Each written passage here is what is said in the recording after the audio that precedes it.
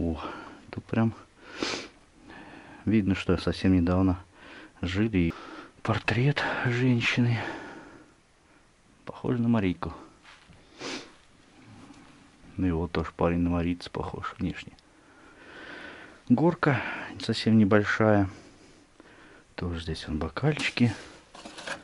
Чай даже есть. Две электрических плитки советских. Ведерки, кастрюли, рукомойник. Все, все, все на месте. Санки, вилы, лопаты, грабли, косы, пилы. Чего только здесь и нет, весь инструмент. Это финка НКВД образца 1934 года от ножи Барк. Ручная работа настоящего кузнеца с 20-летним опытом. Рукоять сделана из венге, а лезвие из закаленной стали 95 хром 18, что дает твердость 50-89 по Роквиллу. Нож выдержит любую нагрузку и разрежет все, что не прибито. Разрубит монету, металлический профиль, проволоку, крыло автомобиля, да что угодно. Есть сертификат, что нож не является холодным оружием. Кузнец дает пожизненную гарантию на все свои ножи. Рекомендую, друзья, кузницу Барк. Заходите к ним в Telegram или WhatsApp по ссылке в описании. Заказывайте крутые ножи ручной работы. А по кодовому слову «деревня» вам дадут скидку в 5%. Привет, друзья! Пробираемся с вами по старой дороге сквозь лес молодой в заброшенную деревню северной Нижегородской области. По лесу нам нужно проехать где-то три с половиной километра. Местами прям ровненько, хорошо дорога. И видно, и проезжабельно легковом автомобиле. Местами колеи грязновато, сыренько. Ну, вроде проезжабельно. Так, вот там он сыровато. Надо взять в эту сторону немного. Общем, не знаю, проеду то или не проеду на машине до самой деревни. Если не проеду, значит дойду пешком, если что. Ну и как вы видите, деревня совсем небольшая. И ее разделяет ровно пополам небольшая речка. Вот такой вот вид. Вокруг леса, природа. Красота, одним словом.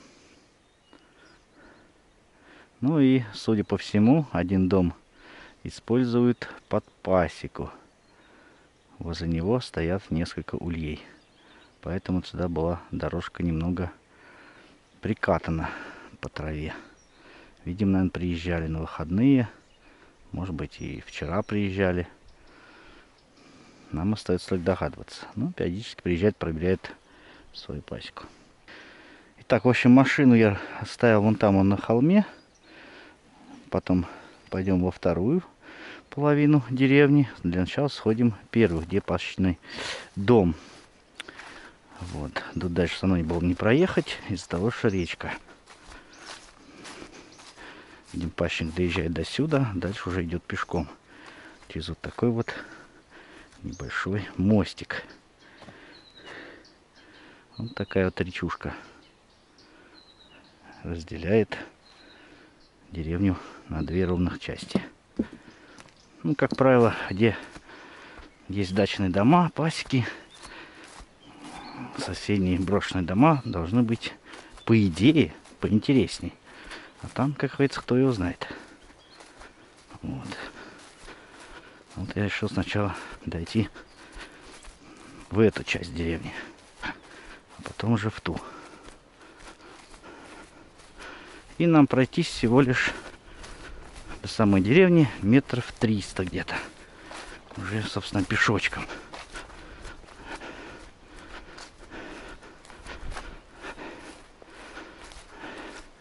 Понятно, почему деревня-то умерла. Ее покинули, потому что ни работы поблизости нет, а глубинка области. Еще и грунтовые дороги, лес кругом. Здесь даже мобильная связь по камере мегафон не ловит. Согласитесь, такое себе для, если постоянного проживания. А когда грязь, сюда и не проехать теперь совсем. В этой половине всего лишь 6 домов, но все практически в печальном состоянии. Нет ни полов, ни мебели, ничего.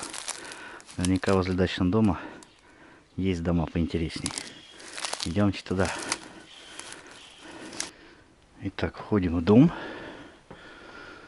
В веранде такие занавесочки. А здесь, смотрите, табачок лежит. На мосту вот такой вот симпатичный сундук с цветочками, чтобы было красивее. Вот. В чулане вот такая вот обстановка. Тоже висит табачок сушеный. Множество колес велосипедных. Видимо, тут совсем совсем недавно жили. Пила двухручная. Она же дружба. Видите, дом взломанный.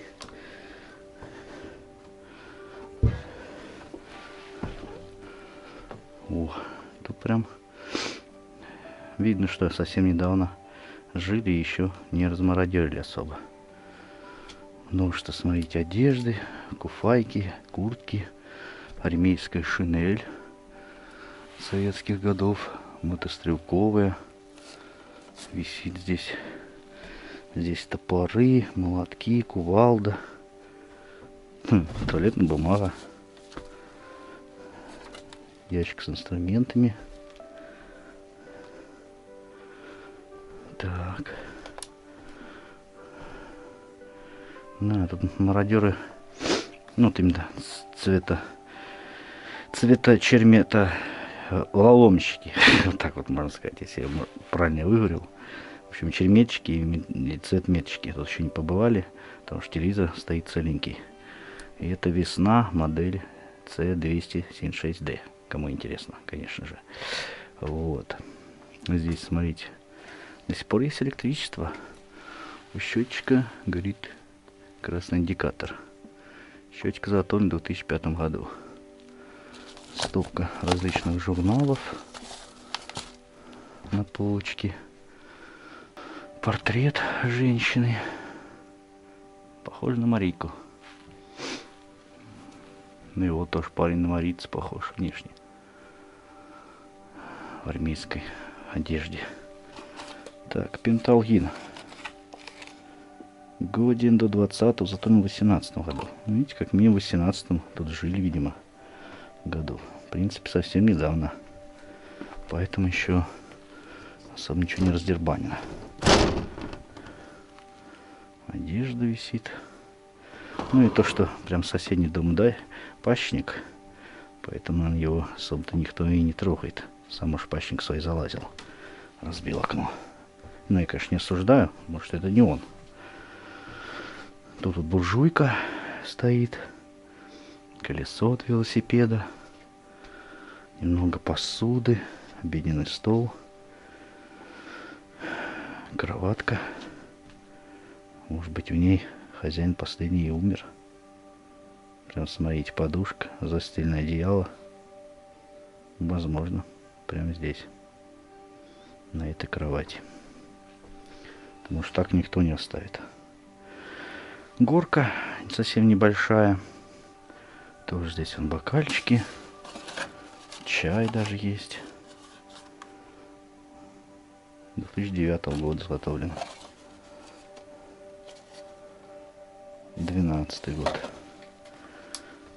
Здесь, смотрите, две электрических плитки советских.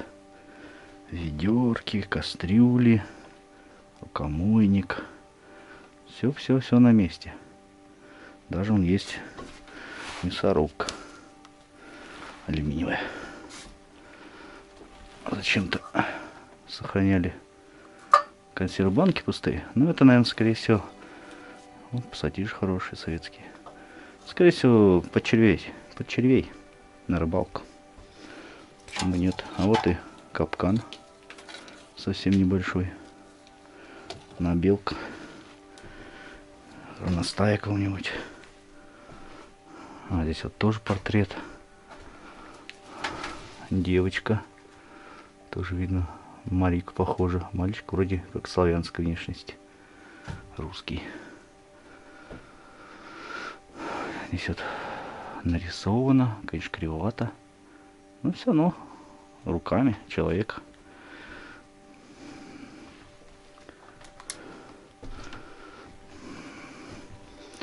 Вот такой вот довольно-таки интересный домик. Предлагаю еще сходить во двор. И если есть лестница на чердак, то и туда заглянем. Конечно же. Так, не знаю, не знаю, есть ли она вообще. А тут и нет ее. Кстати, вот коромысл еще сразу не заметил. Две прялочки. А это ручка и бензобак от бензопилы. Урал или дружба, не знаю, оранжевый. И там оранжевый, синий, зеленый были-то.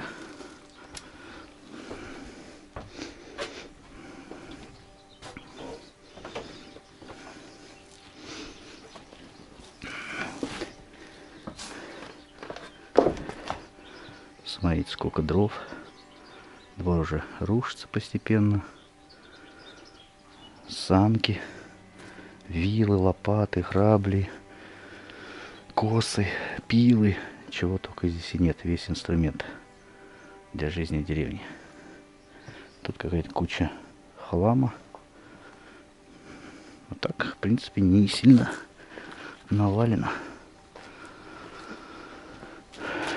И остатки от двух велосипедов. Десна и еще какого-то. Ну, а соседние дома в плачевном состоянии. Все разграбленные, распиленные. Что, предлагаю в ту половину деревни сходить. Там домов немножко побольше и вроде внешне они с высоты получше выглядели. Может там тоже нормально. Будет на что посмотреть. Смотрите, нашел примерно на середине деревни. Старая, небольшая хоть сколько она, либо 7-метровая, ржавая водонапорная башня. Водопровод был в деревне. Ну как водопровод? Колонки были по улице, значит. Отсюда башня качала воду. И она поступала по трубам земле, под землей уже к колонкам возле деревенских домов. Смотрите, также Здесь неподалеку. Вот что увидел. Какие-то информационные щиты пустые. Скамейки, столы, лавочки. Довольно-таки их много здесь. Возможно, один села, один деревни, когда на на кладбище приезжают, здесь, может быть, собираются бывшие жители, которые сюда уехали, жить в другие места. Судя по всему, да. А может как место для отдыха в лесу, не знаю даже. Да нет, наверное, для них. Яма, видимо, под мусор, но вроде без мусора. Удивительно. Я думаю, да. Кладбище я знаю где, по картам она обозначена. Но туда далеко идти. В общем, вот это вот заброшенная деревня. И на полпути до следующей заброшенной пути э, деревни стоит их общее кладбище.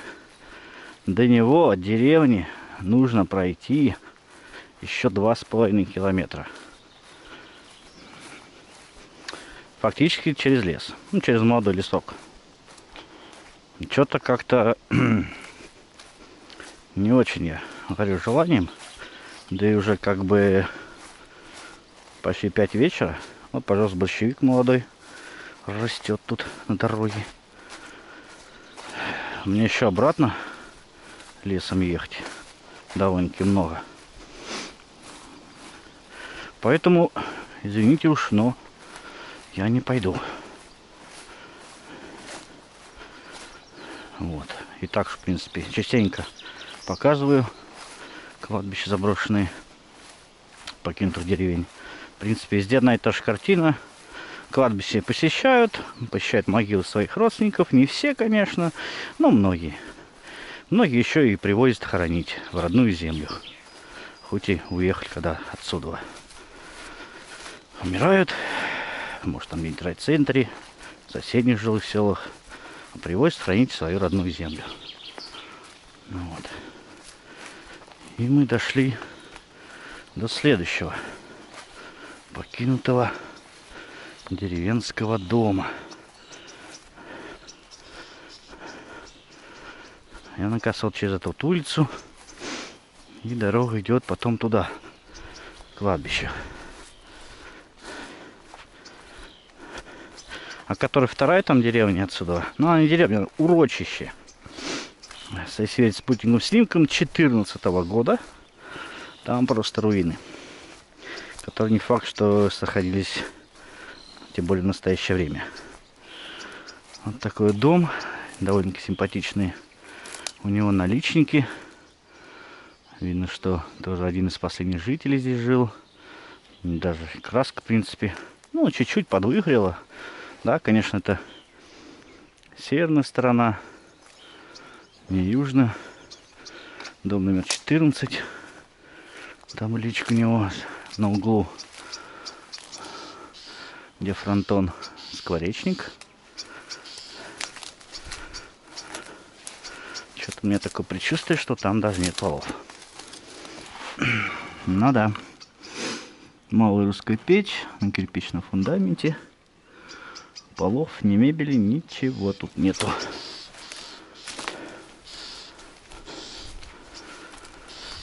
Когда-то кипела жизнь в этой деревне. Сейчас такая вот картина. А двор распилили. Вот его только остатки валяются в крапиве. Это нам банька либо. На, банька просела.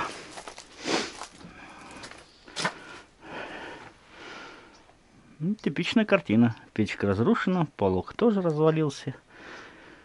Больше ничего.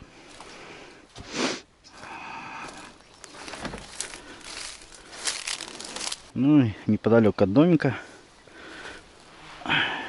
нарциссы, да? По-моему, так правильно называется. Уже доцветают. И вот еще один. Может быть тут край дороги сажали. А может занесли семена.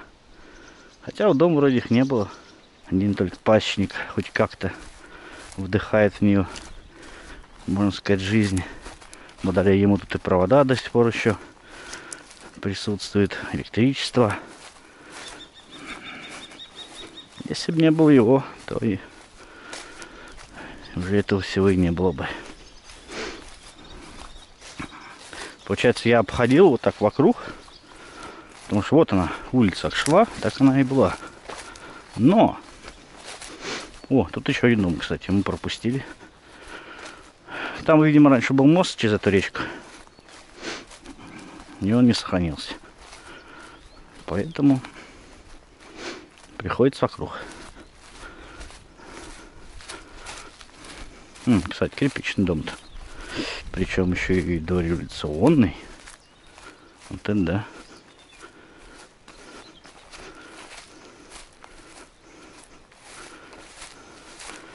Симпатичный.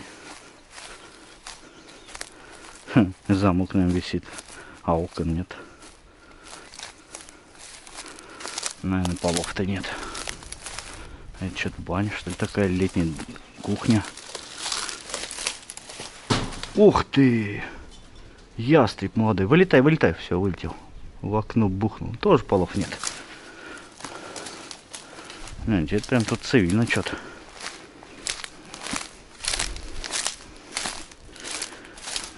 Заглянем.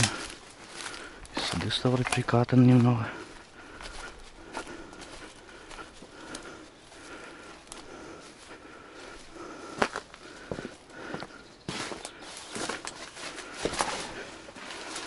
Нет, трогать, здесь живут. Висит замок. О, здесь колодец, смотрите. Это да.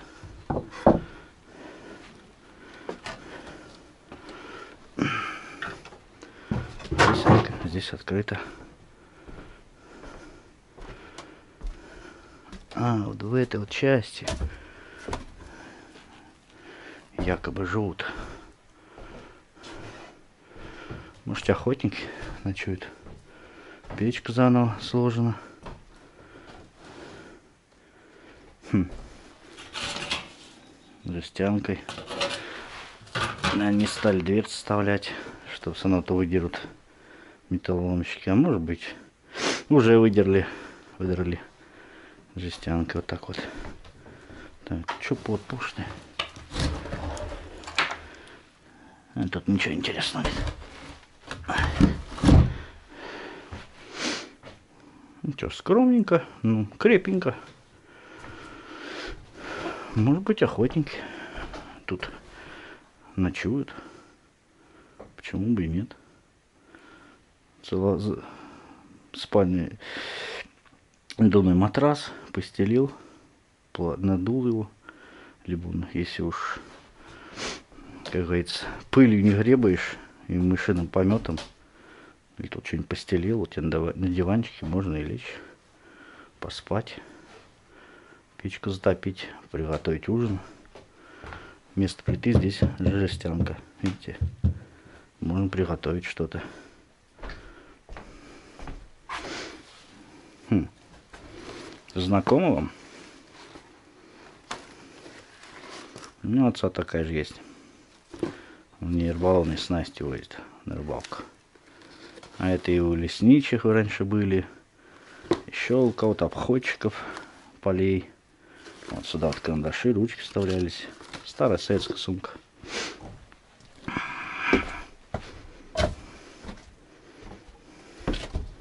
Хм, прикрыто.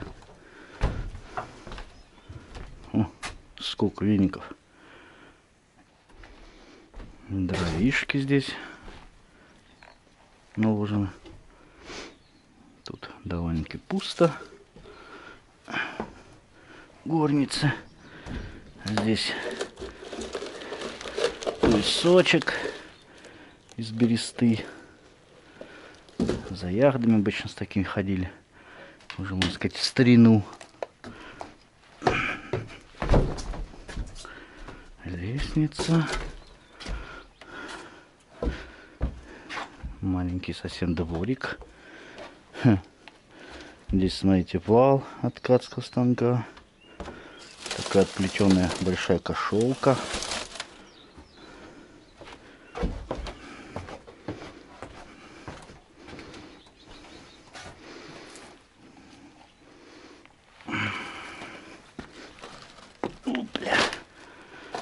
Чесала для льна.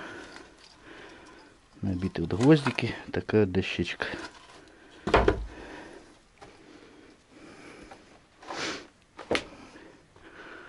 Ну и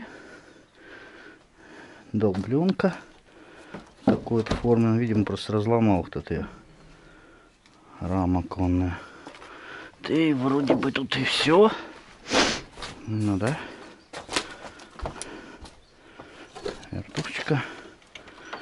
И вот, кажется, тот, можно сказать, остатки от двора.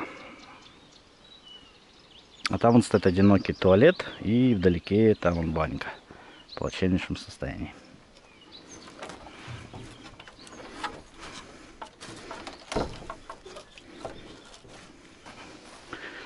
Другой дом тут кирпичный, уже весь разваленный.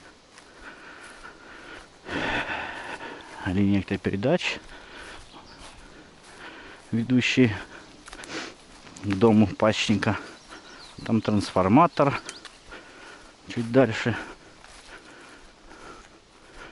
А, кирпичный дом развалился совсем.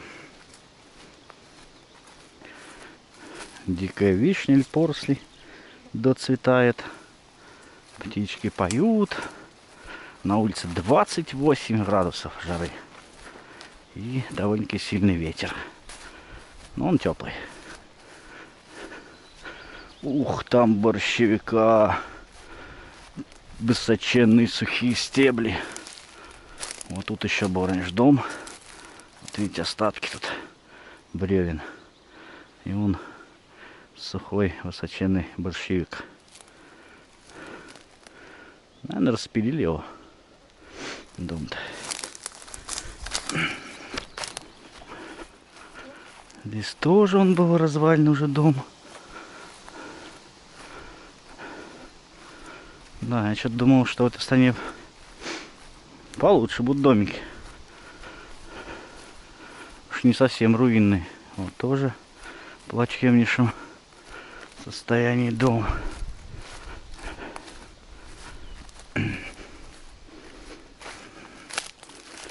Еще один.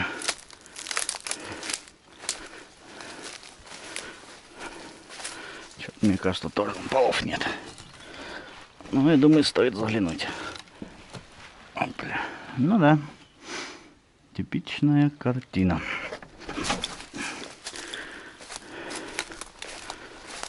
Вроде так и отдаленные деревни жилых. Лесом, грунтовкой. Все разграбили. На тракторах, что ли. Не УАЗики, наверное, с прицепами. А больше тут что? Легковые тут только сухую погоду можем проехать. И вот трансформатор понижающий. И все.